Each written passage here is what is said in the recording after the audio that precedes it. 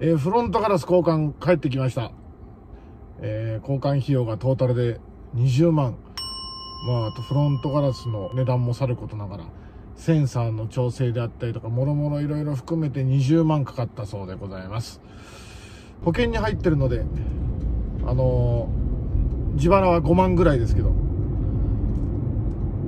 まあ、それにしても痛い出費ですね。本当に。腹減ったので、ラーメン食べに行きます。